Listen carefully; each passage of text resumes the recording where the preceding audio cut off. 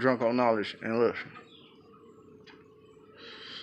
I'm gonna break down this acronym for y'all. Cause it's an acronym I use. And it's an acronym I thought of. So I'm gonna share a piece of my mind with you guys and we're gonna believe about that. The bullet. What is the bullet?